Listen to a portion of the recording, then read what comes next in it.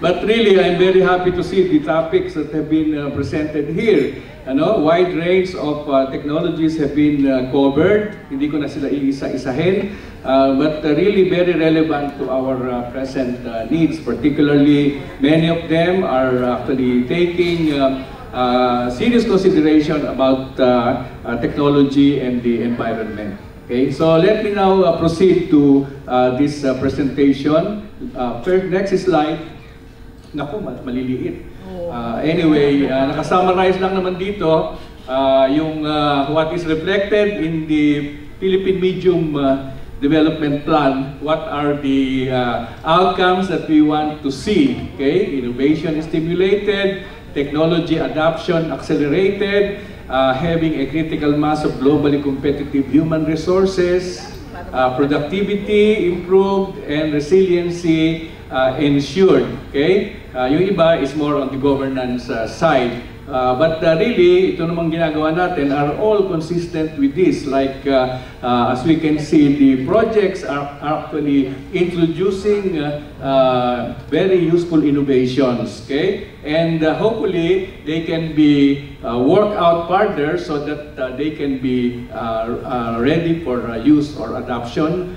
And uh, of course, it is also very consistent with uh, uh, developing uh, highly competitive human uh, resources. The next slide uh, shows the, again, a review of the uh, 11 uh, so-called DOST 11-point agenda. The first five of these are all devo- devoted to R&D, okay? So ito, panahon pa ni Secretary Alabasto, kabisado na niya to, R&D to address national problems, R&D to enhance productivity, R&D to generate new knowledge and technologies, R&D to strengthen and utilize regional R&D capabilities, Okay, kaya tayo nagkakaroon ng mga uh, needs research centers sa regions ngayon and the uh, utilization of R&D results through technology transfer and commercialization. The rest are dealing with human resource development, with the upgrading of facilities, and the expansion of assistance to different productive uh, sectors. Uh, yung, I don't know whether later on we will see the so-called upgraded uh, facilities that uh, we now have. And uh, I think for the year 2019, we can be uh, proud to say that uh, there are a number of uh, uh, new facilities that uh, we have uh, completed or set up or started in the area of space technology development. We inaugurated this year two important facilities. One is the so-called Ulysses Laboratory, where uh, we, we will now have the space engineering uh, uh, laboratory and satellite laboratory uh, within the uh, UP uh, engineering uh, complex. Uh, this is uh, the facility where we hope we can already uh, develop the next satellite. No, no, no more uh, going to Japan to develop the next uh, satellite. And then we inaugurated the second uh, ground receiving station for uh, uh, remotely uh, sensed images coming from uh, uh, different satellites, both our satellites and, and those that belong to our consortium. And this second one was inaugurated last uh, November 8 in uh, Davao, mismo dun sa uh, Civil Aviation uh, uh, Authority Complex. Okay? It is bigger than the one uh, that was first set up in Diliman. A third one will be set up so that we will have coverage of the entire country and this will be in Dumangas, Iloilo. Okay? But the third one will be financed by JICA. Okay? So the other facilities that we have started, mostly in the Bikutan area, are uh, number one, the uh, green packaging uh, research laboratory, which will be devoted uh, to the research on alternative packaging materials, uh, mostly coming from natural uh, uh, sources. The other one is the Advanced Manufacturing Center, which is uh, actually utilizing what we call additive manufacturing uh, technologies. Uh, we were able to conceptualize and uh, shall we say, package that with the help of uh, uh, Balik scientist uh, uh, Rigoberto Advincula, who uh, really uh, exerted a lot of effort uh, getting uh, our uh, researchers from here, not only from the OST, but from different universities to work with him on, uh, on his researchers on additive manufacturing. Uh, we coupled that with uh, a, uh, a uh, twin facility inside the, the uh, uh, Advanced Manufacturing Center, which is the development of uh, new materials that will be used for this technology. So yung uh, 3D printing nandun na, uh, pero yung mga new materials iti-develop ng Industrial Technology Development uh, Institute. And um, of course, uh, uh, we also have a facility called the uh, uh, simulated packaging laboratory, uh, particularly uh, to uh, test okay, the ano tawag dito? The, the quality of packaging that we have that can withstand uh, uh, different uh, ano tawag dito, mga vibrations, travel, transportation, and uh, so uh, these are simulated in the laboratory. Uh, going into more basic uh, facilities, we are proud to uh, mention that uh, last uh, November 6, we inaugurated the uh, uh, Regional Yarn Production and Innovation Center in Miagao, Iloilo. Uh, hindi siya sabihin nating uh, new technology, but uh, this is using highly automated uh, technology for the production of yarns uh, using the raw material produced in the area, primarily cotton, pineapple, and uh, a little of abaca. Uh, so uh, the the value chain okay is uh, more complete in a way because uh, that area has been a weaving area. Okay, the hablon comes from there and other materials, but it came to a point that they no longer have enough of the yarns. Okay, parang wala nang gustong magtiyagang maghimay. Okay, Ah, kaya nakarating sa point na they were importing the yarns that are being used for weaving. And according to the to the locals, they are not proud okay, of saying that this is hablon because the raw material is already imported. But now, uh, with the raw material coming from uh, the uh, locality, farmers benefit, okay, and then our weavers will have uh, more of this. And we partnered with the marketing uh, groups, okay, particularly the uh, women, great women uh, uh, group, okay, to do the marketing. Uh, so there are others that uh, have been developed in uh, regional uh, uh, areas. On Monday, uh, we will uh, do the groundbreaking for the uh, plant tissue culture laboratory in uh, Giginto, Bulacan. Okay, so this is actually an uh, outcome of uh, a partnership between the local government of uh, Giginto, uh, which has, I think, the largest number of uh, enterprises devoted to ornamental plants. Okay, so if you uh, pass through the Tabang exit, uh, you will see all the uh, uh, plants uh, for sale there, okay? Mostly for uh, gardens, uh, decorative uh, purposes. And um, they have more than 500 companies uh, engaged in that business. So uh, the mayor of Giginto volunteered to build the the infrastructure for the laboratory on condition that we will be the one to put in the research uh, facility. There are many others uh, that uh, we can uh, mention on a smaller scale. So maybe we can uh, move on. Well, the collaboration mentioned here in item 10 is uh, something that is, shall we say, pleasantly, a pleasant surprise to us. Somehow, there, there are more uh, countries who wanted to have uh, bilateral collaboration with us. Okay, so I think uh, we have uh, executed uh, agreements uh, for 2019 that uh, includes the agreement with France, uh, the agreement with Iran, okay, the finally the signing of the agreement with the US because uh, I told the US ambassador it has been pending for three years at your end. Okay? And so on July 16, it was uh, signed finally. And uh, uh, we have uh, other uh, agreements that we signed, of course, when the President of India was here, we signed the collaboration program.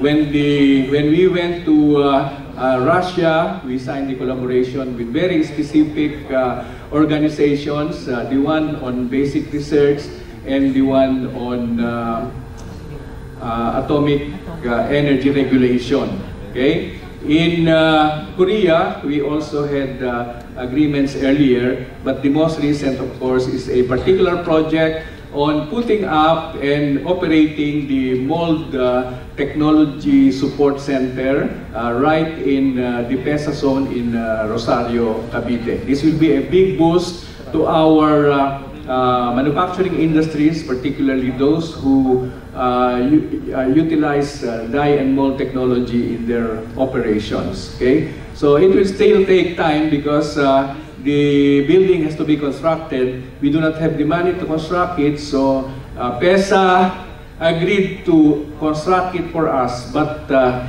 they will have to recover the cost through rent over the years. Okay? Okay na rin yun, basta masimula na. So, the collaboration, uh, well, uh, Jimmy and I went to Trieste, Italy, uh, where uh, I, I, I first knew about Trieste, Trieste, tama ba pronunciation ko? Trieste, uh, because they, they, I have known that for the Third World Academy of, uh, of Science, okay? And uh, I realized that there are so many things in common, no, between us and them. And uh, the first area of collaboration is health research, primarily focusing on liver research. But there are other areas like biopharma, which is very promising. Uh, so let, let us move on uh, to the next slide. Baka nasabi ko ng lahat eh. Uh, the uh, other uh, good news, of course, which most of you know already, is uh, our improvement in the Global Innovation Index. By the way, this index is done by three organizations, the World Intellectual Property Office, INSEAD of France, and Cornell University. So every year they come up with the ranking. In 2017 and 2018, we were consistent at number 73 out of 126. So kung titingnan mo, nasa, nasa top 58%. Okay, but uh, this year we uh, went up 19 uh, steps higher to 54 out of 129. So that makes us the top 42%. So sabi ko, it is easier to think of uh, top third or top 33% because that will only mean uh, a ranking of about uh, 42 out of the number of countries participating. We will target that uh, before the end of 2022. So our uh, uh, ranking, of course, is still uh, uh, behind Thailand and Vietnam and Malaysia and Singapore. Okay, but uh, above uh, uh, Indonesia, Brunei, Cambodia. Eh, yun ang uh, Myanmar yata at saka Laos eh, hindi sumasali. Oo. Okay, next uh, slide is, uh, uh, well, uh, many of you have already heard and seen about the uh, winning uh, uh, technologies that uh, have gone into commercialization. This is uh, one of the best examples, the Biotech M Dangwa Dengue Aqua Kit, okay, which is used for uh, as a confirmatory test uh, uh, that can detect the presence of dengue infection in an hour or less in hospitals and standalone chain laboratories. So this is uh, being sold now by the spin-off company called Manila Health Tech Incorporated. But since uh, the bigger potential clientele is the public hospitals or DOH, we are still uh, uh, waiting for some, uh, uh, how to say, uh, um, improvement in the process, okay? Because uh, uh, alam naman yung procurement sa government. Ano? Next, uh, we have uh, the hybrid electric train set, which uh, passed all the international tests uh, uh, that we conducted. It also passed all the international tests conducted by PNR. We turned it over to them, running, and uh, supposed to join their fleet. Uh, bad news recently, nagkamali daw, nalagyan daw ng diesel na may tubig. Sabi ko, ano ba naman klase kayo? Kaya hindi lang ah, ang hirap ano. Ah, sabi ko nga ah, if they will not ah, improve the situation, if they will not be improved, I think we will ah, pull it back and offer it to the private sector to operate. Because the railway lines can be used by the private sector provided they pay toll. Okay? Eh, nag-announce sila ng, uh, pasensya na yung mga taga-DOTR, nag-announce sila ng uh, pagre-resume ng uh, tutuban na Los Baños uh, trip. Okay? Two times a day with their train that can carry only 80 passengers. Ours can carry 880. Oo. At tapos eh, matipid pa sa kuryente dahil nga ah, pag-andar niya, nag-charge siya dun sa battery. Anyway, I just want to share with you my disappointment with other departments. Uh, let me proceed. This is, uh, of course, uh, gaining acceptance now, the Karajinan, which was developed much earlier under Secretary Monteo. Lahat naman yan, inumpisa na Secretary Monteo, even the train, itong Karajinan, uh, kahit yung uh, biotech research na yon. And uh, this one is already uh, gaining ground, uh, and uh, thanks to, uh, I think, uh, uh, encouraging that we have uh, somebody at DA now uh, who is also a uh, researcher and uh, actually who came from uh, DOST. So we hope that there will be uh, a larger coverage of commercialization. Ang, uh, napansin ko lang dito, yung mga nag, uh, nag-secure ng licensing, uh, actually marami sa kanila magma-market to other countries.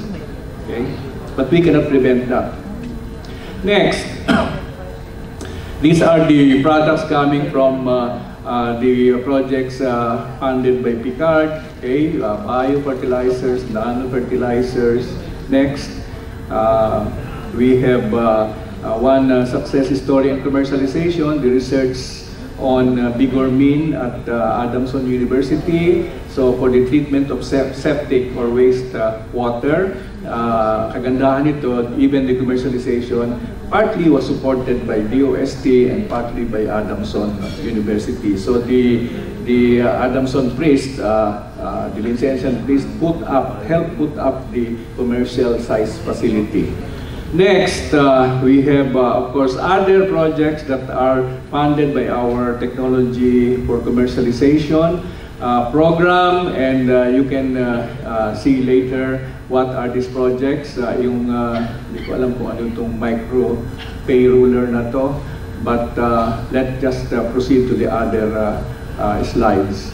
Okay. On the Tuklas Lunas program, I think, uh, uh, correct me Jimmy if I uh, not accurate with the statistics, there are 18 active ingredients that are now, tama ba yan? That are now up for uh, uh, proceeding to uh, clinical uh, uh, trials or tests. And uh, upon recommendation of PCHRD, these are open to the private sector. No, we don't have to do the clinical trials all by, by ourselves, okay? Because the private sector can do it provided they pay the necessary royalties. Next, we have, of course, uh, one area which we are encouraging now and which uh, hopefully will be, uh, there will be more projects in 2020. These are the hospital equipment and biomedical uh, devices.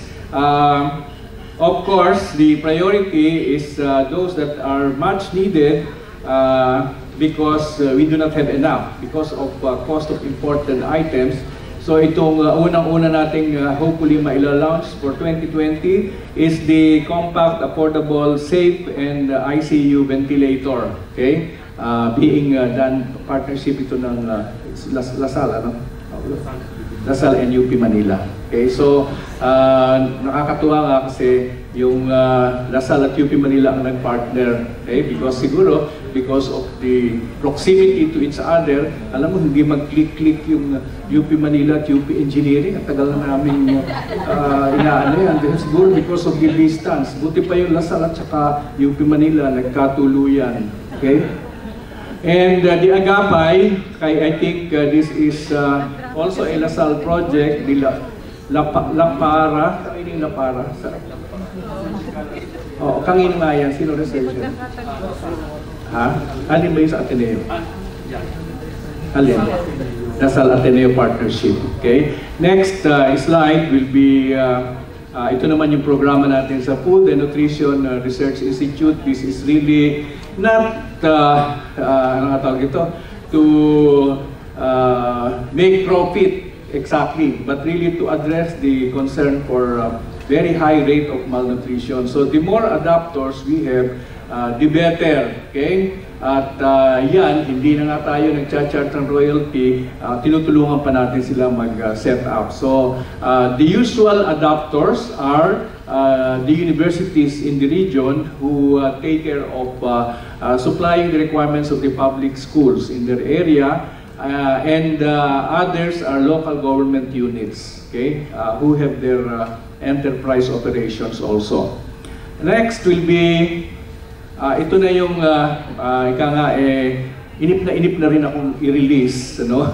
Ah, but uh, this is really something that is uh, uh, going to help us in our uh, propagation of uh, the breed of coconut that uh, we want to have.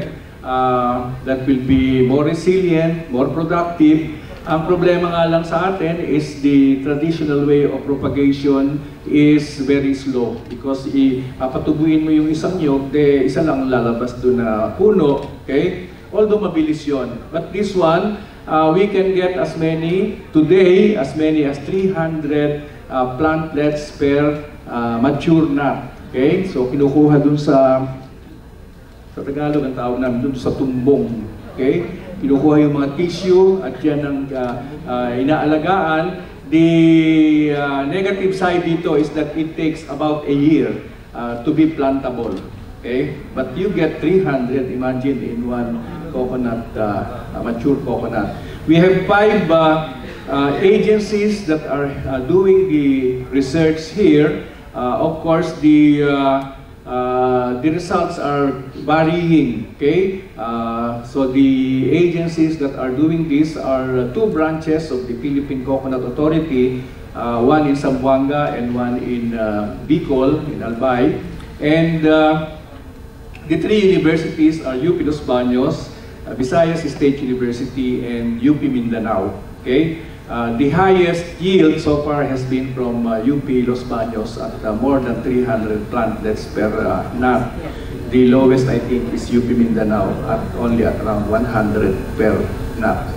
But uh, we hope that uh, this will already be ready for uh, the mass propagation that uh, we wish to have, uh, considering the uh, sig- significant reduction in the number of trees because of uh, old age uh, because of uh, you know cutting and other uh, problems. Next, uh, uh, the native animal improvement. Okay, this is uh, uh, something that I uh, I really like. Okay, because. Uh, uh, in the end, uh, we might be able to depend more on our own uh, native uh, livestock. Okay, uh, today, uh, as in most countries, they are highly dependent on uh, imported uh, uh, livestock. Okay, so whether it is poultry, piggery, but uh, this one is trying to, uh, first of all, would be the purification of the of the native lines. No, yung pala mga native na kumakalat-kalat dyan, hindi na sila pure. Para silang askal, halo-halo na rin ang kanilang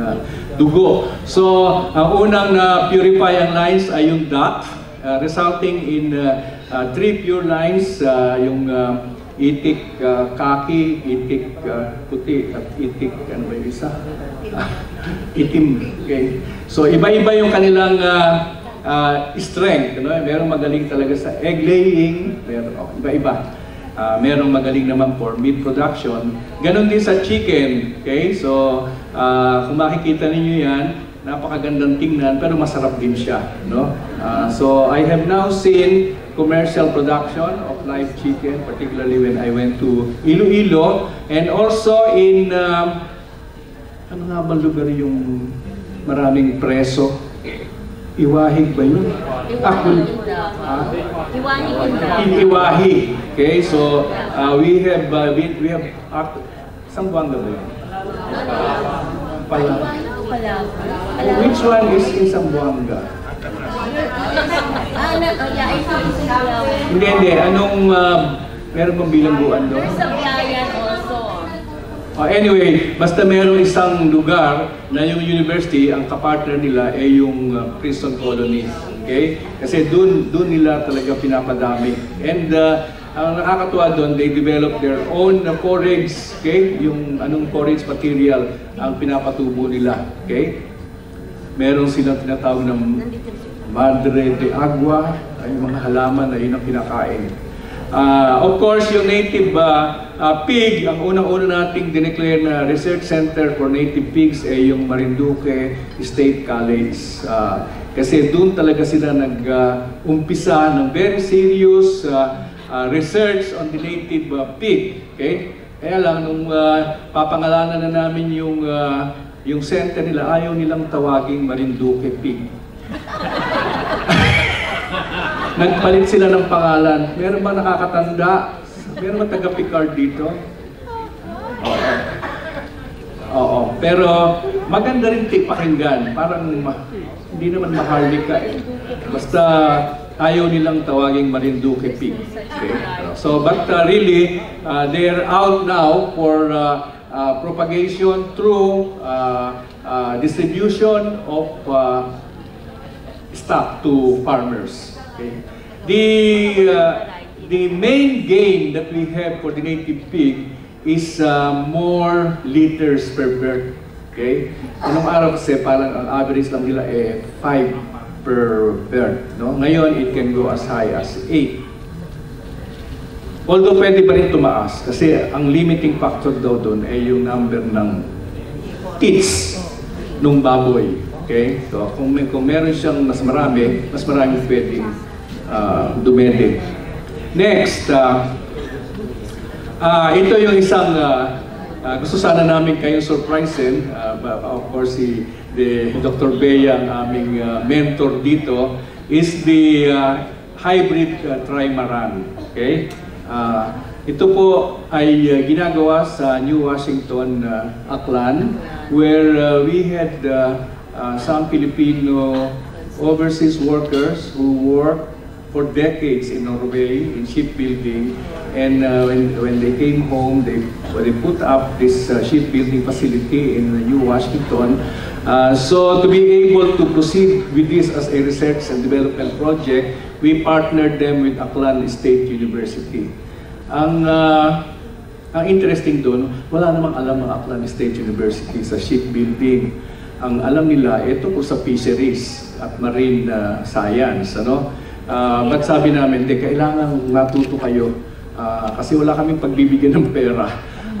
Hindi naman namin pwede ibigay doon sa private company. So you have to uh, uh, uh, learn So ngayon, they are now, uh, I think, asking the help of our experts like Dr. Bea, hindi lang doon sa pag-develop nung, uh, well, uh, the, the, the, the, shall we say, the important role of experts like uh, the, uh, Dr. Bea will be to, uh, to check whether their uh, proposed uh, system uh, is, is uh, ano tawag dito?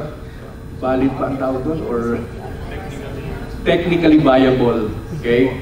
Uh, so constantly uh, being ano sila monitored together with the Marina.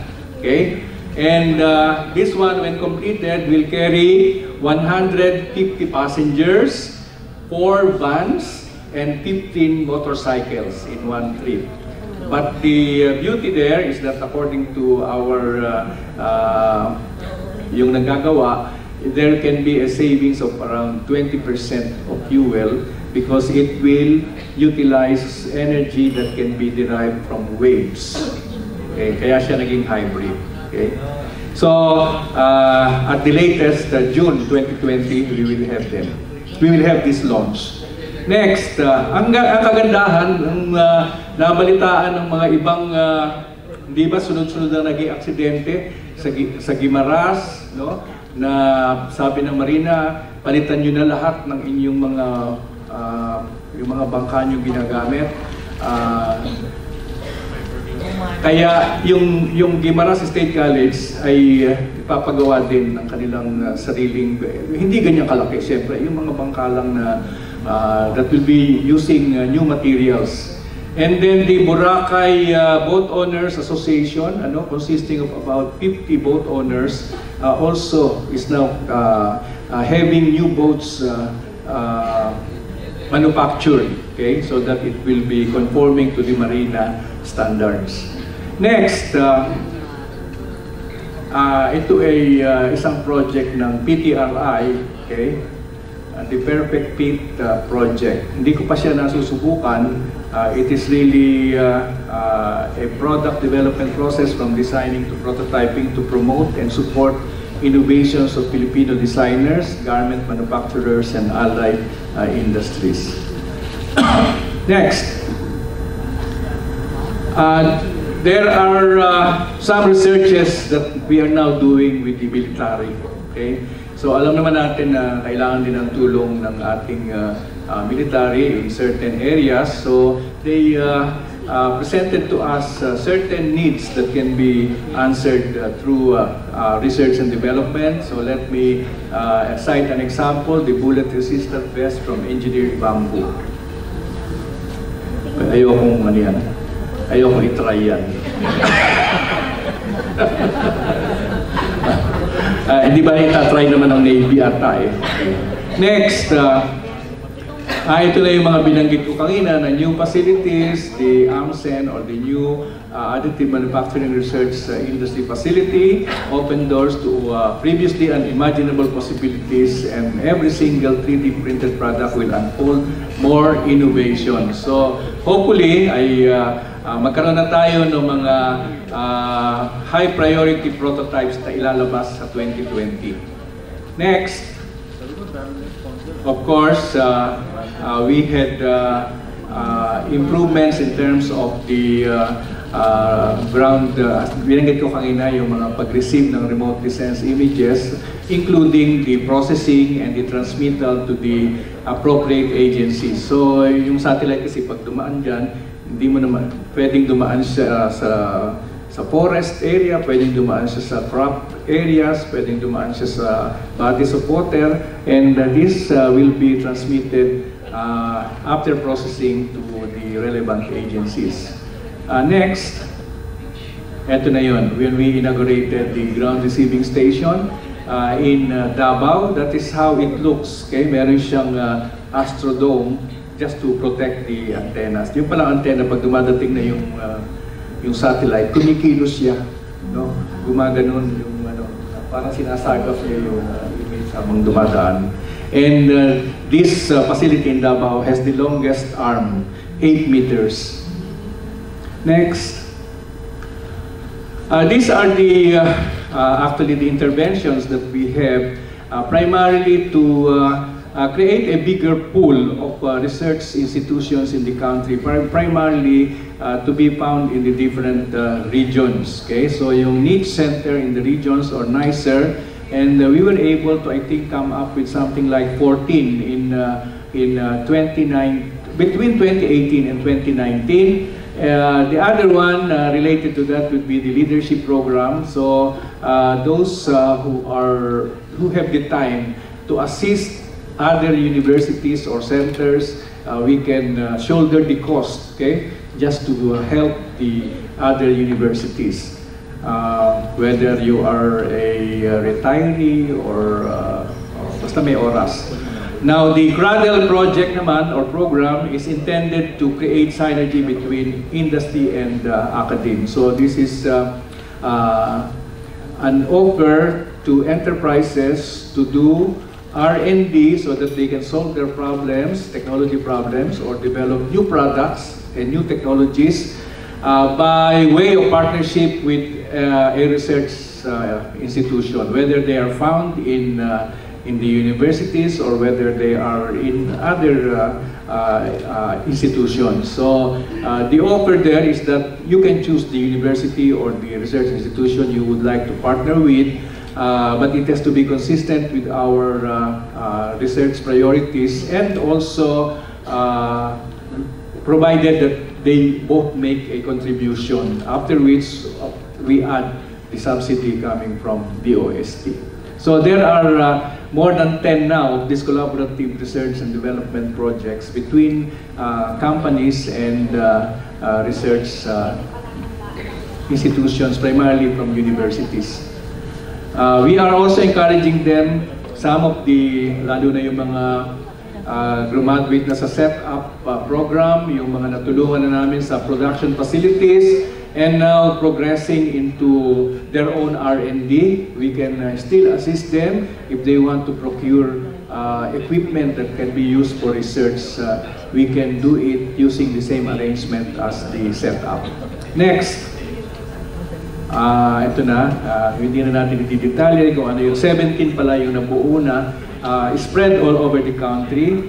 Next, ito naman yung mga examples ng collaborative research between ah, companies and ah, universities. So you can see in the ah, so-called logo, some of the partnerships was madaling makita. So it, one project is between uh, the Technol- Technological Institute of the Philippines and Pascual Pharma. This is uh, more on the application of data analytics uh, to uh, identify the uh, active ingredients that has the biggest potential. The other one is a collaboration between LaSalle and Sante. It is a tawag. It's it's an a feeds corporation. Okay, so they they are actually developing the the uh, pellets out of uh, Lablab. Okay, and then uh, one is UP Diliman and the Batangas Egg Producers Cooperative. Another one is UP Dos Baños and the Sugar Ice Confections uh, para sa mga ice cream na may lamang probiotics. University of San Agustin and Del Monte uh, for uh, utilizing uh, itong tinatawag na hypo hypoescolerolemic hypo cholesterolemic natural products from pineapple. Uh, and then the last example uh, that we see here is the uh, partnership between the University of Southeastern Philippines and IHO Corporation of Tagum. Uh, this is the development of a banana disease surveillance uh, system. Uh, next slide. Uh, ito naman yung mga uh, kung saan kami nag-assign ng mga expert para tulungan sila mag-develop ng kanilang R&D program. Next, we have, uh, ah, ito naman, nagsisimula na tayo. Uh, the first recipient of the fund assistance for uh, uh, setting up their uh, own R&D within the company is Herbanex Laboratories. Next, we have, uh, ito naman yung mga statistics natin on uh, the scholarships. Okay. Uh, we now have 16 campuses. On Friday, we will inaugurate the uh, latest of the 16 regional campuses. It will be in uh, Dipolog City, where uh, six new buildings will be inaugurated on Friday. Next slide is uh, the Balik Scientist Program. Uh, we are happy to announce that we have been uh, meeting our targets uh, because the average number uh, of Balik Scientists in the recent years is about 30 per year. Okay, so we are hoping to uh, 30 or 30. Yeah, so we are hoping to raise it to around uh, uh, 60 per year, okay, for the first three years. Uh, 50 per, no, 50 percent actually increase, okay. Uh, so as of uh, the end of uh, November, we have already 53 balik scientists compared to the previous 30. Next, uh, ano ba ito? Uh, we are now looking into how uh, our setup uh, beneficiaries can move on into uh, uh, becoming smarter SMEs, uh, moving towards uh, Industry 4.0. Okay. Next, uh, well, this is just a report on the on the networks that uh, we have. The One Lab, which is uh, uh, connecting. Uh, I think at this time more than more than uh, 35 laboratories already, including some from neighboring countries. Next, we have our business incubation program, as you well know, we uh, signed the implementing rules and regulations for the Innovative Startup Act last uh, November 22. Uh, the law actually uh, mandates three departments to support uh, the uh, our, technology-based startups. So DICT, DTI, and DOST are the main players here. They they are supposed to come up with one uh, big program on uh, startups, and uh, uh, that will that will entail uh, certain targets for each department. Next, we have 44 now business incubators and that will still increase. This is bringing technology to communities, okay? Uh, this was uh, started during the time of Secretary Montejo also and uh, the focus will be on the marginalized sectors. Uh, the, the results here are very inspiring, okay? If you can only have a chance to see the communities that have been uh, assisted. Next, uh,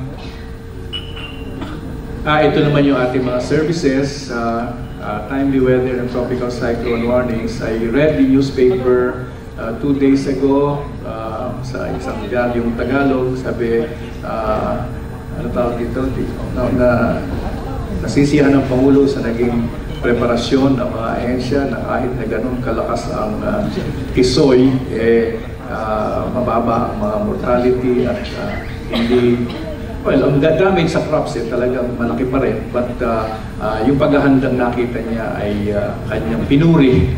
Okay? Uh, so next, we have uh, ano ba ito? Uh, itong mga programa that uh, are designed uh, for uh, disaster risk and climate change resiliency. Uh, many of these are actually uh, technologies that were developed by PBOX, okay, particularly uh, for uh, earthquake and landslides. Next, we have, uh? Uh, still part of the disaster uh, uh, risk reduction. Uh, we have uh, developed atlases uh, for uh, major cities in the Philippines that can be used as reference in the seismic design of buildings and structures and as a tool for earthquake impact assessment and earthquake risk reduction efforts. So we have one for Metro Manila, we have one for Metro Cebu, Metro Davao, and uh, the rest uh, of the so-called uh, aspiring smart cities will have uh, their atlas uh, for this. Next, um, uh, this is a product of uh, University, the Universal Structural Health Evaluation and Recording System, or USHER. It's a cost-effective 24 by 7 uh, monitoring system for building and bridges that enables economical and hassle-free compliance. So uh, this one are uh, uh, installed in buildings and bridges uh, so that it can uh, monitor the so-called health of the structure, of the infrastructure. Now, uh, of course, this is uh, more of a um, passive uh, seismic monitoring technology, okay? Hindi mo na kailangang uh, i-subject to actual stress yung building. Basta na monitor niya habang ginagamit kung ano yung kanyang health as a as an infrastructure. Uh, so ito yung commercialization stage na rin, Dr. Bea. No? So uh, there is a company that has been formed already and uh, uh, uh, DOST will try to help in the uh, promotion because this is a technology which we supported. Next is the uh, Ah, well, this is the DIME project with the DBM. It was actually DBM who initiated the use of our uh, technology for uh, uh, photogrammetry and remote sensing to monitor the implementation of big ticket government projects. So, ito ay parang option na nung LiDAR project natin.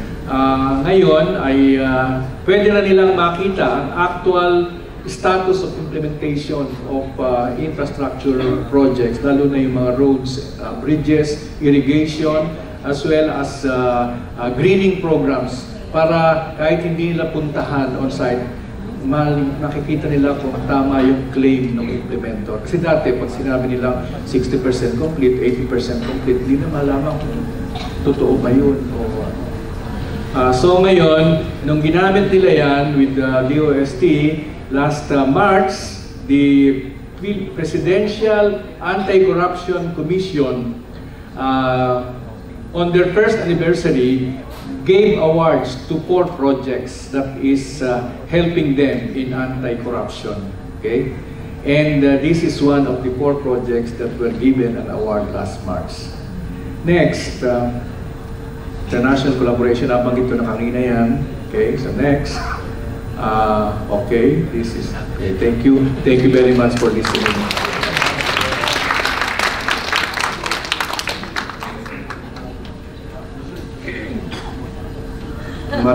Maraming salamat. Maraming salamat, Secretary. Talagang totoo yung sinabi ko kanina. Mahaba talaga. Ang daming accomplishments. Highlights pa lang yun. Oo. Talagang high na high. Siguro yung iba ay mga lowlights ay mas marami pa doon. Okay, let's proceed. Pero bago dyan, ito yung winners natin ng 10 Indigenous Ang marang Marang. from Academician Baka yung iba hindi alam ang Marang. Dong Rasco. Ang Marang sa Bicol, ah, manghang yan. Pero sa, Sa Bicol? sa Bicol, Sa amin sa Davao, ang tamis niyan. Ang sarap-sarap niyan. Tayo. Ang Marang, sino ba taga Bicol dito? Marang Bicol? yan. Manghang. Ah, Kasi ganun. manghang. Ah. Hindi ako nagbibiro at hindi yun joke. Totoo yun. So, Eh, eh talaga namang ah, pag nabuglot ako, gugulong kayo.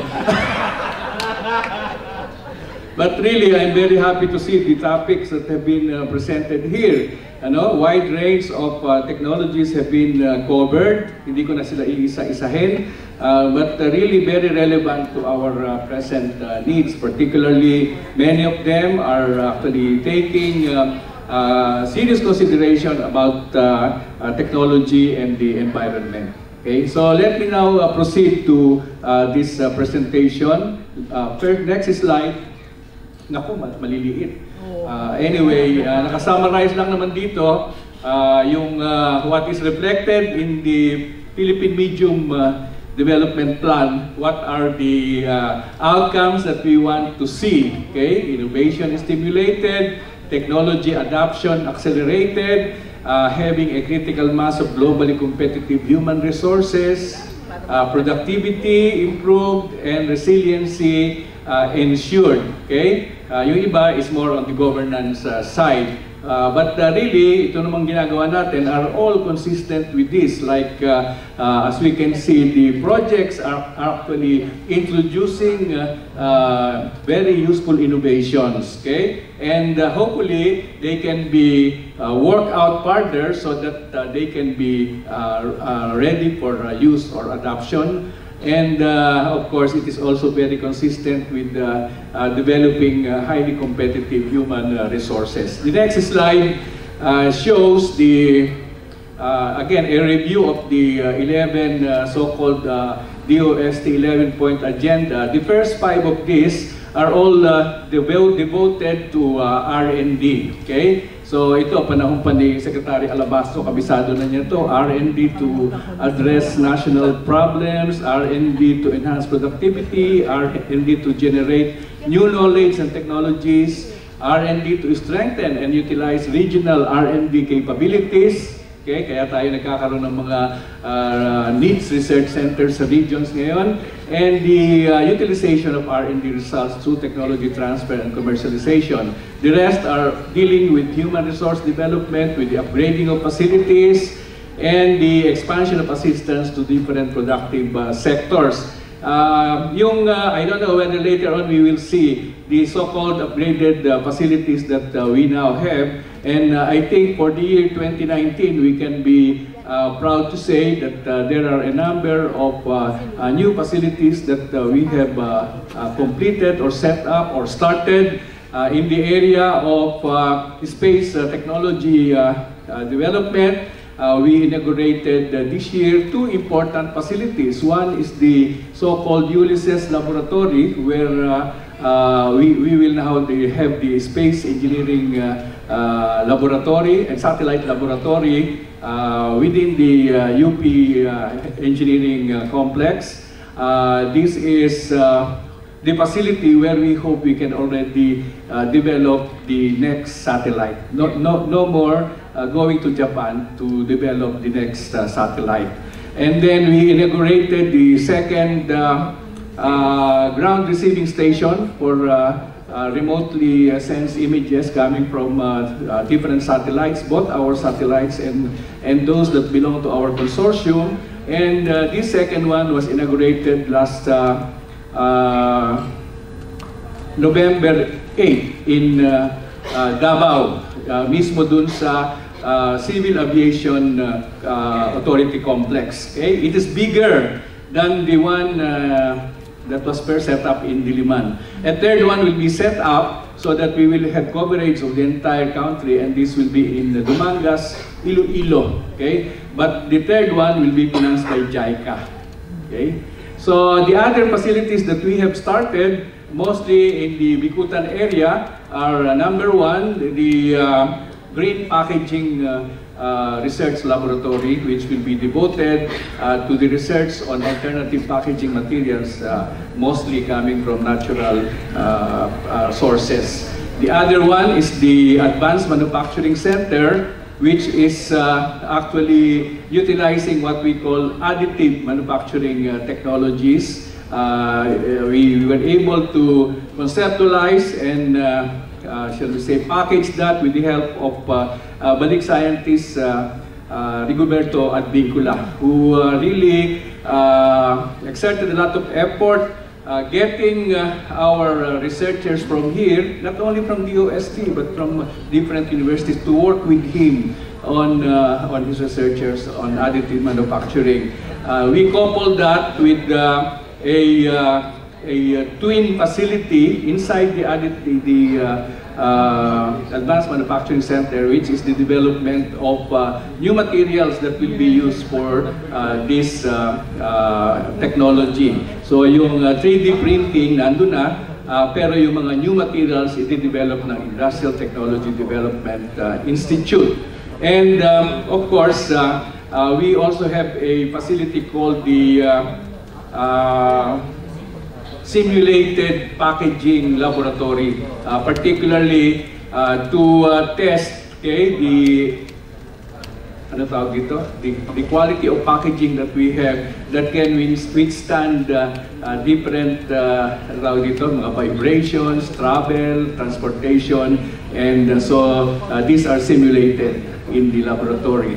Uh, going into more basic uh, facilities, we are proud to uh, mention that uh, last uh, November 6, we inaugurated the uh, uh, Regional Yarn Production and Innovation Center in Miagao, Iloilo. Uh, hindi siya sabihin nating new technology, but this is using highly automated technology for the production of yarns uh, using the raw material produced in the area, primarily cotton, pineapple, and uh, a little of abaca.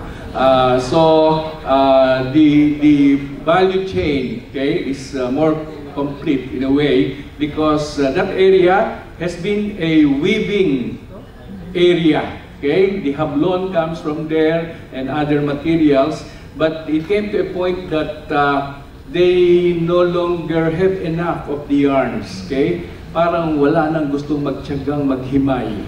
Okay, Ah, kaya nakarating sa point na they were importing the yarns that are being used for weaving. And according to the to the locals, they are not proud okay, of saying that this is hablon because the raw material is already imported. But now, uh, with the raw material coming from uh, the uh, locality, farmers benefit, okay, and then our weavers will have uh, more of this. And we partnered with the marketing uh, groups, okay, particularly the uh, women, great women group, okay, to do the marketing. So there are others that have been developed in uh, regional uh, uh, areas. On Monday, uh, we will do the groundbreaking for the uh, plant tissue culture laboratory in uh, Giginto, Bulacan. Okay, so this is actually an uh, outcome of uh, a partnership between the local government of uh, Giginto, which has, I think, the largest number of enterprises devoted to ornamental plants. Okay, so if you uh, pass through the Tabang exit, uh, you will see all the uh, uh, plants uh, for sale there. Okay, mostly for uh, gardens, uh, decorative uh, purposes. And um, they have more than 500 companies uh, engaged in that business. So uh, the mayor of Giginto volunteered to build the the infrastructure for the laboratory on condition that we will be the one to put in the research uh, facility. There are many others uh, that uh, we can uh, mention on a smaller scale.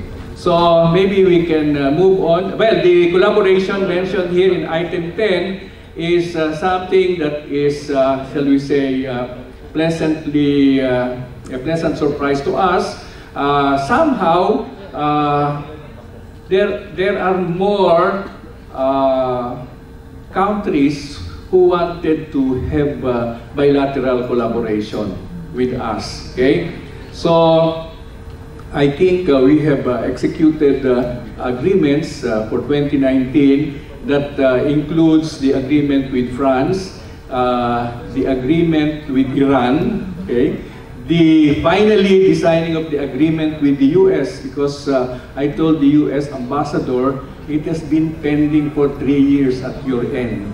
Okay, and so on July 16 it was uh, signed finally, and uh, uh, we have uh, other uh, agreements that uh, we signed, of course.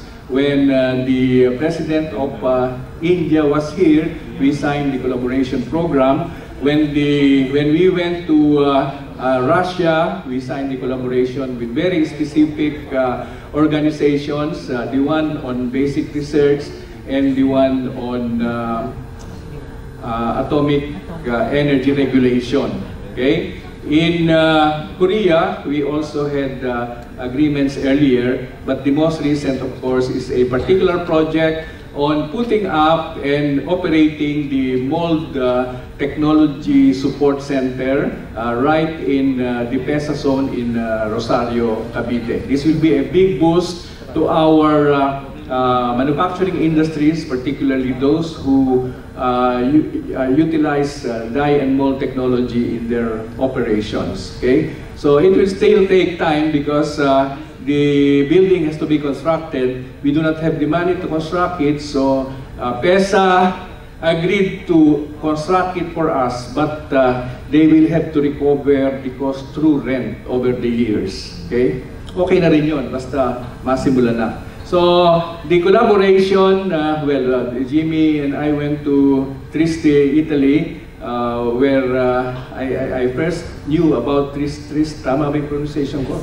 Trieste, uh, because they, they, I have known that for the Third World Academy of, uh, of Science, okay? And uh, I realized that there are so many things in common, no, between us and them. And uh, the first area of collaboration is health research, primarily focusing on liver research. But there are other areas like biopharma, which is very promising. Uh, so let, let us move on uh, to the next slide. Baka nasabi ko ng lahat eh. Uh, the uh, other good news, of course, which most of you know already, is uh, our uh, uh, improvement in the Global Innovation Index. Uh, by the way, this uh, index is uh, done by uh, three organizations, the World Intellectual Property Office, uh, INSEAD of France, and Cornell University. So every year they come up with the ranking. In 2017 and 2018, we were consistent at number 73 out of 126. So kung titingnan mo, nasa, nasa top 58%. Okay, but uh, this year we uh, went up 19 uh, steps higher to 54 out of 129. So that makes us in the top 42%. So sabi ko, it is easier to think of uh, top third or top 33% because that will only mean uh, a ranking of about uh, 42 out of the number of countries participating. We will target that uh, before the end of 2022. So our uh, uh, ranking, of course, is still uh, behind Thailand and Vietnam and Malaysia and Singapore, okay? But uh, above uh, uh, Indonesia, Brunei, Cambodia. Ay yung uh, Myanmar yata at saka Laos ay hindi sumasali. Oo. Okay, next uh, slide is, uh, uh, well, uh, many of you have already heard and seen about the uh, winning uh, uh, technologies that uh, have gone into commercialization. This is uh, one of the best examples, the Biotech M Dangwa Dengue Aqua Kit, okay, which is used for uh, as a confirmatory test uh, uh, that can detect the presence of dengue infection in an hour or less in hospitals and standalone chain laboratories. So this is uh, being sold now by the spin-off company called Manila Health Tech Incorporated.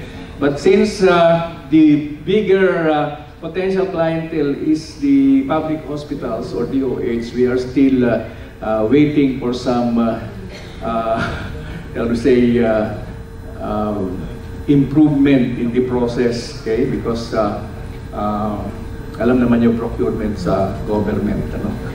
Next, we have the hybrid electric train set, which passed all the international tests uh, uh, that we conducted. It also passed all the international tests conducted by PNR. We turned it over to them, running, and uh, supposed to join their fleet. Uh, bad news recently, nagkamali daw, nalagyan daw ng diesel na may tubig. Sabi ko, ano ba naman klase kayo?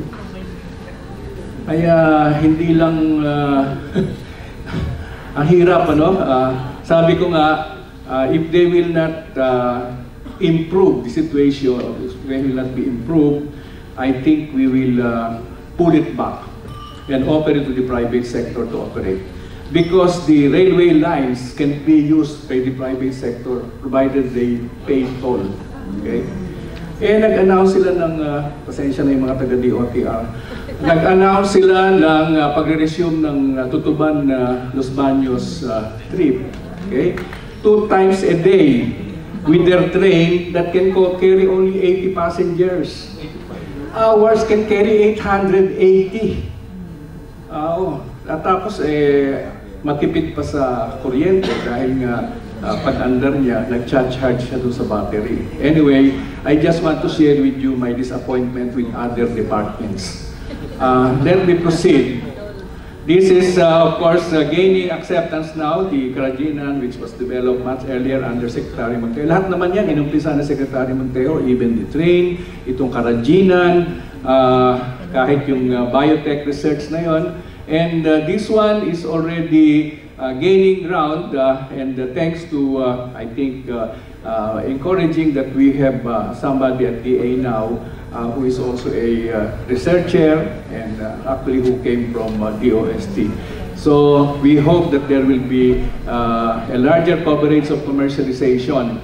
Ang uh, napansin ko lang dito, yung mga nag uh, nag-secure ng licensing, uh, actually marami sa kanila magma-market to other countries. Okay? But we cannot prevent that.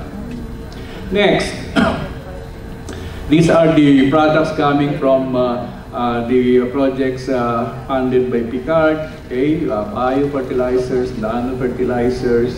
Next, uh, we have uh, uh, one success story in commercialization, the research on uh, Bigormin at Adamson University. So for the treatment of sep- septic or waste water, kagandahan nito, even the commercialization, partly was supported by DOST and partly by Adamson University. So the the uh, Adamson priest, uh, uh, the Lincentian priest, put up, helped put up the commercial size facility.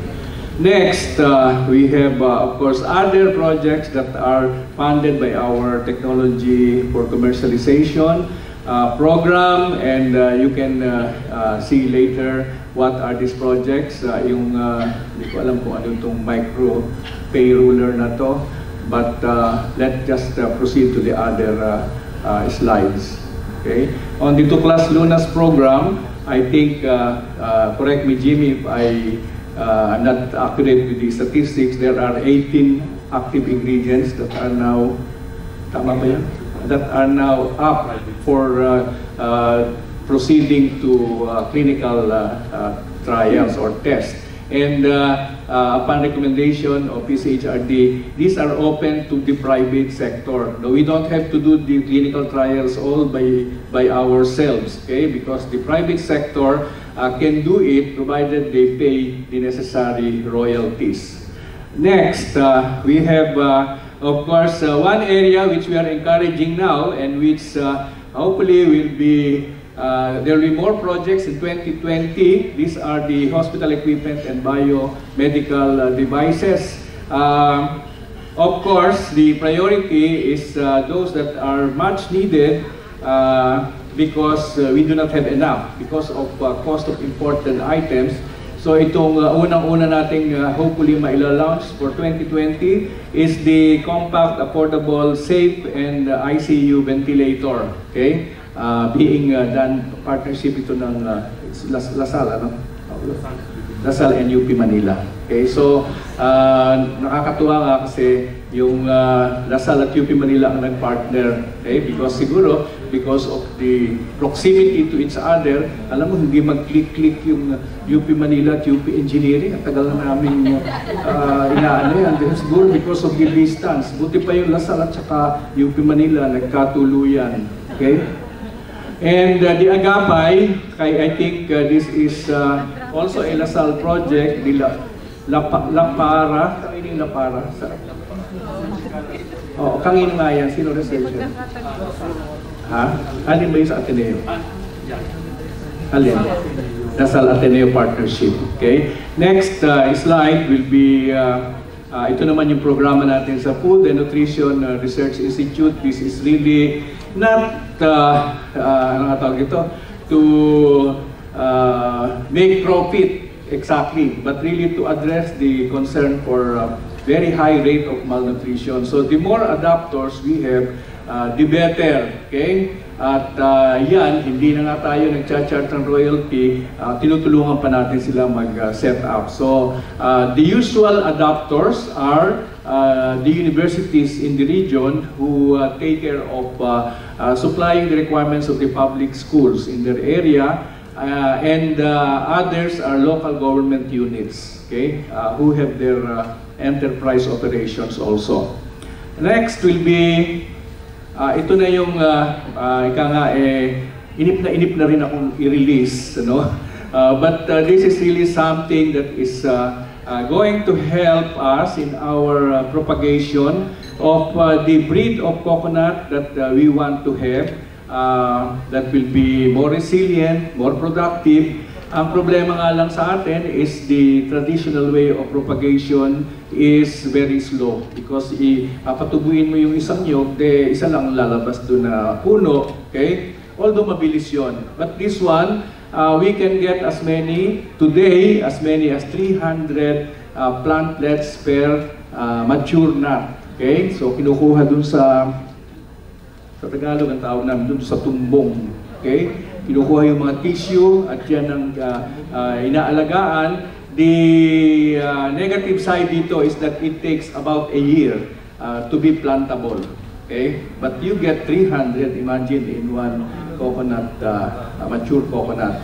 We have five uh, uh, agencies that are uh, doing the research here.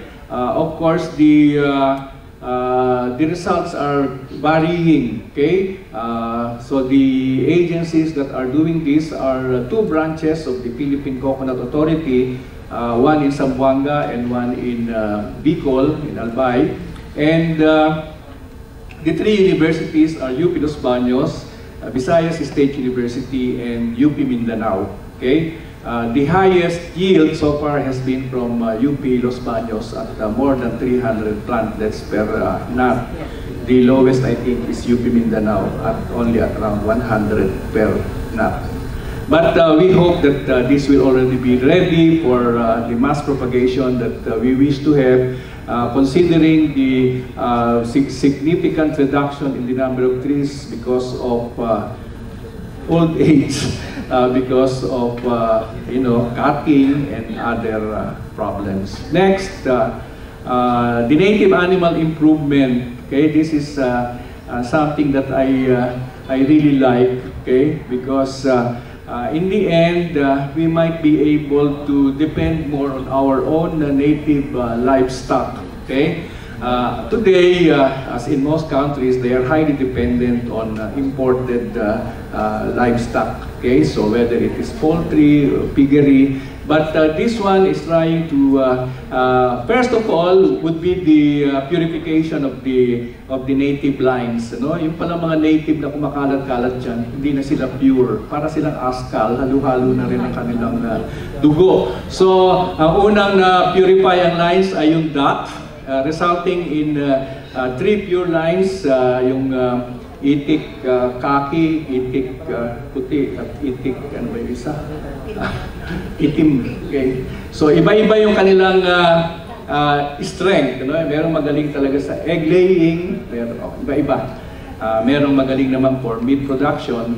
Ganon din sa chicken. Okay? So, uh, kung makikita ninyo yan, napakagandang tingnan pero masarap din siya no Ah, so I have now seen commercial production of live chicken particularly when I went to Iloilo and also in um, ano nga ba lugar yung maraming preso Iwahig ba yun? Ako, ah? In Iwahi. Okay, so uh, we have uh, we, we have act Sambuanga ba yun? Pala. Palawan. Which one is in Sambuanga? Ah, na, oh, yeah, I think it's in Palawan. Hindi, hindi. Anong, uh, meron bang bilangguan doon? There's a Biayan also. Uh, anyway, basta merong isang lugar na yung university, ang kapartner nila ay yung uh, prison colony. Okay? Kasi doon doon nila talaga pinapadami. And uh, ang nakakatuwa doon, they develop their own uh, forage, okay? Yung anong forage material ang pinapatubo nila, okay? Meron silang tinatawag ng Madre de Agua, ay mga halaman na yun ang kinakain. Ah, of course, yung native ah, ah, pig, ang unang-una nating dineclare na research center for native pigs ay yung Marinduque State College. Ah, kasi doon talaga sila nag-umpisa ng very serious ah, ah, research on the native ah, pig. Okay? Kaya lang, nung ah, papangalanan na namin yung, ah, yung center nila, ayaw nilang tawaging Marinduque Pig. Nagpalit sila ng pangalan. Meron ba nakakatanda? Meron ba taga-Picard dito? Oo. Oo. Pero maganda rin pakinggan. Parang ma- hindi naman maharlika eh. Basta ayaw nilang tawaging Marinduque Pig. Okay?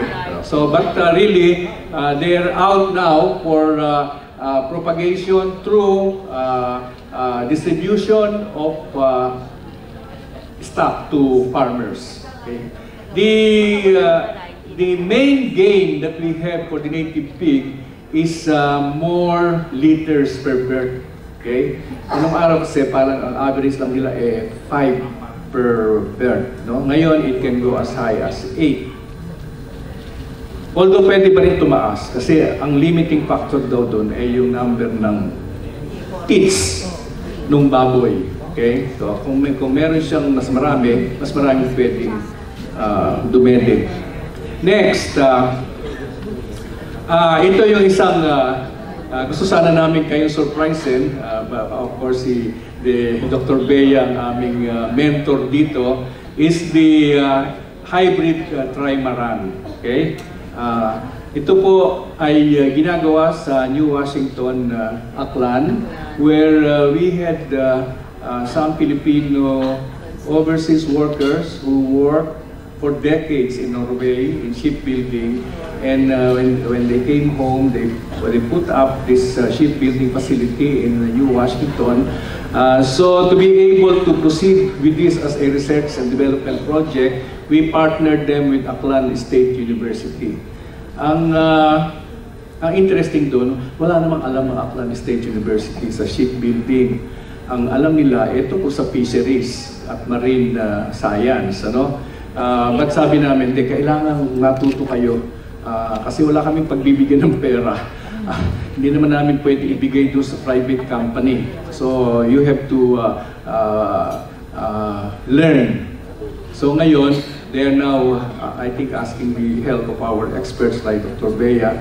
Hindi lang doon sa pag-develop nung, uh, well, uh, the, the, the, the, shall we say, the important role of experts like uh, the, uh, Dr. Bea will be to, uh, to check whether their uh, proposed uh, system uh, is, is uh, ano tawag dito? Valid pa ang tawag doon? Or technically viable. Okay? Uh, so constantly uh, being ano sila monitored together with the Marina. Okay? And uh, this one when completed will carry 150 passengers, 4 vans and 15 motorcycles in one trip. But the uh, beauty there is that according to our uh, uh, yung nagagawa, there can be a savings of around 20% of fuel because it will utilize energy that can be derived from waves. Okay, kaya siya naging hybrid. Okay? So, uh, at the latest, uh, June 2020, we will have them. We will have this launch. Next, uh, ang, ang kagandahan, ang uh, nabalitaan ng mga ibang, uh, di ba, sunod-sunod na naging aksidente sa, sa Gimaras, no? na sabi ng Marina, palitan nyo na lahat ng inyong mga uh, yung mga bangka nyo ginagamit. Uh, kaya yung yung Guimaras State College ay uh, ipapagawa din ng kanilang uh, sariling hindi ganyan kalaki syempre yung mga bangka lang na uh, that will be using uh, new materials. And then the Boracay uh, Boat Owners Association ano consisting of about 50 boat owners uh, also is now uh, uh, having new boats uh, uh, manufactured okay so that it will be conforming to the marina standards. Next, uh, uh, ito ay uh, isang project ng PTRI, okay? Uh, the Perfect Pit uh, project. Hindi ko pa siya nasusubukan. Uh, it is really uh, uh, a product development process from designing to prototyping to promote and support innovations of Filipino designers, garment manufacturers, and allied uh, industries. Next, uh, there are uh, some researches that we are now doing with the military. Okay? So alam naman natin na kailangan din ng tulong ng ating uh, uh, military in certain areas. So they uh, uh, presented to us uh, certain needs that can be answered uh, through uh, uh, research and development. So let me uh, cite an example, the bullet resistant vest from Engineered Bamboo. Ayokong ano yan. Ayoko i-try yan. Ah, hindi ba ita-try naman ng Navy ata eh. Next, uh, ah, ito na yung mga binanggit ko kanina na new facilities, the AMSEN or the new uh, Additive Manufacturing Research Industry Facility, open doors to uh, previously unimaginable possibilities and every single 3D printed product will unfold more innovation. So hopefully ay uh, uh, magkaroon na tayo ng mga uh, high priority prototypes na ilalabas sa 2020. Next, of course, uh, uh, we had uh, uh, improvements in terms of the uh, uh, ground, uh, binanggit ko kanina yung mga pag-receive ng remotely sensed images, including the processing and the transmittal to the appropriate agencies. So yung satellite kasi pag dumaan dyan, hindi mo naman pwedeng dumaan siya sa sa forest area, pwedeng dumaan siya sa crop areas, pwedeng dumaan siya sa bodies of water, and uh, this uh, will be transmitted uh, after processing to the relevant agencies. Uh, next, eto na yun, when we inaugurated the ground receiving station uh, in uh, Davao, that is how it looks. Okay? Meron siyang uh, astrodome just to protect the antennas. Yung palang antenna, pag dumadating na yung uh, yung satellite, kumikilos siya. No? Gumaganon yung ano, parang sinasagap niya yung uh, image habang dumadaan. And uh, this uh, facility in Davao has the longest arm, 8 meters. Next. Uh, these are the, uh, uh, actually the interventions that we have uh, primarily to uh, uh, create a bigger pool of uh, research institutions in the country, pri- primarily uh, to be found in the different uh, regions. Okay, so yung niche center in the regions or nicer, and uh, we were able to, I think, come up with something like 14 in uh, in uh, 29 between 2018 and 2019. Uh, the other one uh, related to that would be the leadership program. So uh, those who are who have the time to assist other universities or centers, uh, we can uh, shoulder the cost, okay, just to uh, help the other universities. Uh, whether you are a uh, retiree or uh, basta may oras. Now, the Cradle project naman or program is intended to create synergy between industry and academe. So this is an offer to enterprises to do R&D so that they can solve their problems, technology problems, or develop new products and new technologies uh, by way of partnership with uh, a research uh, institution, whether they are found in uh, in the universities or whether they are in other uh, uh, institutions. So the offer there is that you can choose the university or the research institution you would like to partner with, uh, but it has to be consistent with our uh, uh, research priorities and also uh, provided that they both make a contribution, after which uh, we add the subsidy coming from the OST. So there are more than 10 now of these collaborative research and development projects between companies and research institutions, primarily from universities. Uh, we are also encouraging them, some of the, lalo na yung mga uh, graduate na sa set-up uh, program, yung mga natulungan na namin sa production facilities, and now progressing into their own R&D. We can uh, still assist them if they want to procure uh, equipment that can be used for research. Uh, we can do it using the same arrangement as the setup. Next. Ah, ito na, ah, hindi na natin itidetalye kung ano yung 17 pala yung nabuo na ah, spread all over the country. Next. Ito naman yung mga examples ng collaborative research between ah, companies and ah, universities. So you can see in the ah, so-called logo, some of the partnerships, mas madaling makita. So it, one project is between uh, the Technol- Technological Institute of the Philippines and Pascual Pharma. This is uh, more on the application of data analytics uh, to uh, identify the uh, uh, active ingredients that has the biggest potential. The other one is a collaboration between LaSalle and Sante. It is a tawag.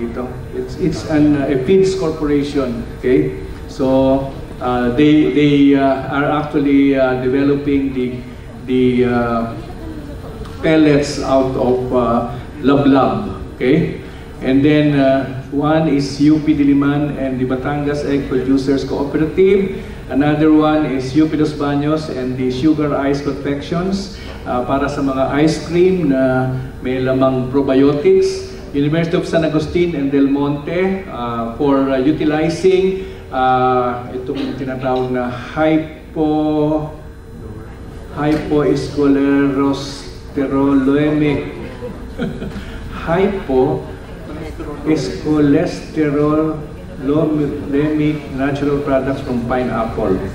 Uh, and then the last example uh, that we see here is the uh, partnership between the University of Southeastern Philippines and IHO Corporation of Tagum. Uh, this is the development of a banana disease surveillance uh, system. Next slide. Ah, ito naman yung mga ah, kung saan kami nag-assign ng mga expert para tulungan silang mag-develop ng kanilang R&D program. Next, we have uh, ah, ito naman, nagsisimula na tayo. Ah, the first recipient of the fund assistance for uh, uh, setting up their uh, own R&D within the company is Herbanex Laboratories. Next, we have, uh, ito naman yung mga statistics natin on uh, the scholarships. Okay. Uh, we now have 16 campuses. On Friday, we will inaugurate the uh, latest of the 16 regional campuses. It will be in uh, Dipolog City, where uh, six new buildings will be inaugurated on Friday. Next slide is uh, the Balik Scientist Program. Uh, we are happy to announce that uh, we have uh, been uh, meeting our targets uh, because the average number uh, of Balik Scientists in the recent years is about 30 per year. Okay, so we are hoping to uh, 30 or 30. Yeah, so we are hoping to raise it to around uh, uh, 60 per year, okay, for the first three years. Uh, 50 per, no, 50 percent actually increase, okay. Uh, so as of uh, the end of uh, November, we have already 53 balik scientists compared to the previous 30. Next, uh, ano ba ito? Uh, we are now looking into how uh, our setup uh, beneficiaries can move on into uh, uh, becoming smarter SMEs, uh, moving towards uh, Industry 4.0. Okay. Next, uh, well, this is just a report on the on the networks that uh, we have. The One Lab, which is uh, uh, connecting. Uh, I think at this time more than more than uh, 35 laboratories already, including some from neighboring countries. Next, we have our business incubation program. As you well know, we uh, signed the implementing rules and regulations for the Innovative Startup Act last uh, November 22. Uh, the law actually uh, mandates three departments to support uh, the uh, our, technology-based startups. So DICT, DTI, and DOST are the main players here. They they are supposed to come up with one uh, big program on uh, startups, and uh, uh, that will that will entail uh, certain uh, targets for each department. Next, so we have 44 now business incubators and uh, that will still increase. This is uh, bringing technology to communities, okay? Uh, this was uh, started during the time of Secretary Montejo also and uh, the focus will be on the marginalized uh, sectors. Uh, the, the results here are very inspiring, okay? If you can only have a chance to see the communities that have been uh, assisted. Next, uh, ah, ito naman yung ating mga services, uh, uh, timely weather and tropical cyclone warnings. I read the newspaper uh, two days ago uh, sa isang diaryong Tagalog. Sabi, uh, ano tawag dito? Di- Na, na, nasisiyahan ng Pangulo sa naging preparasyon ng mga ahensya na kahit na ganun kalakas ang uh, kisoy, eh, uh, mababa ang mga mortality at uh, hindi Well, ang da- damage sa crops eh, talagang malaki pa rin. But uh, uh, yung paghahandang nakita niya ay uh, kanyang pinuri. Okay? Uh, so next, we have uh, ano ba ito? Uh, itong mga programa that uh, are designed uh, for uh, disaster risk and climate change resiliency. Uh, many of these are actually uh, technologies that were developed by PBOX, okay, particularly uh, for uh, earthquake and landslides. Next, we have, uh?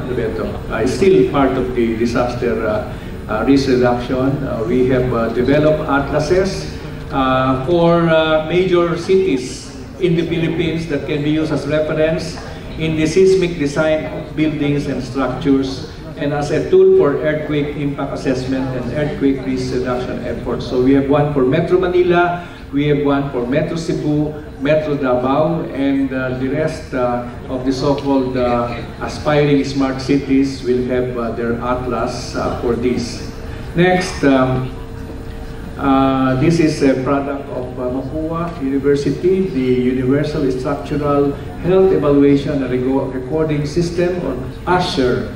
It's a cost-effective 24 by 7 uh, monitoring system for building and bridges that enables economical and hassle-free compliance. So uh, this one are uh, uh, installed in buildings and bridges uh, so that it can monitor the so-called health of the structure, of the infrastructure.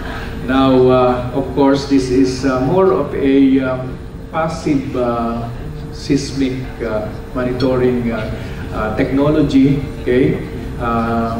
Hindi mo na kailangang i-subject to actual stress yung building. Basta na monitor niya habang ginagamit kung ano yung kanyang health as a as an infrastructure.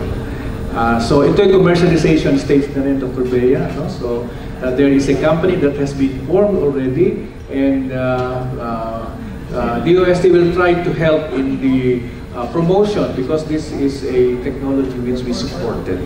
Next is the uh, Ah, well, this is the DIME project with the DBM. It was actually DBM who initiated the use of our uh, technology for uh, uh, photogrammetry and remote sensing to monitor the implementation of big ticket government projects. So, ito ay parang option na nung LiDAR project natin. Ngayon ay pwede na nilang makita ang actual status of implementation of uh, infrastructure projects, lalo na yung mga roads, uh, bridges, irrigation, as well as uh, uh, greening programs para kahit hindi nila puntahan on site, mal- makikita nila kung tama yung claim ng implementor. Kasi dati, pag sinabi nila 60% complete, 80% complete, hindi na malaman kung totoo ba yun o Uh, so ngayon, nung ginamit nila yan with the DOST, last uh, March, the Presidential Anti-Corruption Commission, uh, on their first anniversary, gave awards to four projects that is uh, helping them in anti-corruption. Okay? And uh, this is one of the four projects that were given an award last March. Next, uh, international collaboration, nabanggit ko na kanina yan. Okay, so next. Uh, okay, this is, okay, thank you. Thank you very much for listening.